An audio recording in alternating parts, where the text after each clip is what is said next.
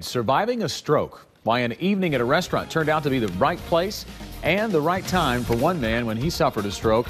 His story at 617. Working for you in the spirit of Arkansas. This is Channel 7 News at 6.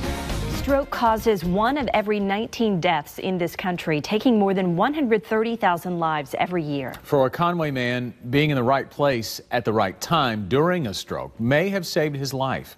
Aaron Holly has the story.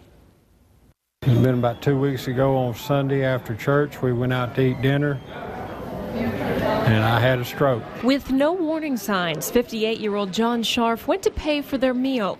His wife, Kay, immediately knew something was wrong. Then his left hand started trembling, just un- uncontrollably trembling.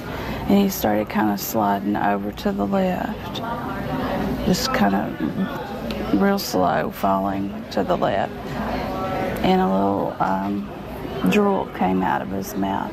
And I, I just knew. There was um, uh, a doctor at the restaurant was able to recognize that John was having an acute stroke. And he came over to the table and he told me, he said, boy, you having a stroke.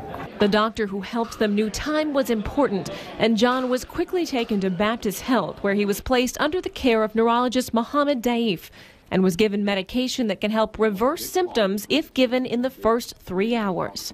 Time is brain, as you know. Uh, so if you recognize uh, uh, someone who's having uh, stroke symptoms, you need to act fast. Although they don't know the name of the doctor who helped John, they're hoping to find him to say thank you. The right people were in the right places at the right time. Aaron Holly, Channel 7 News.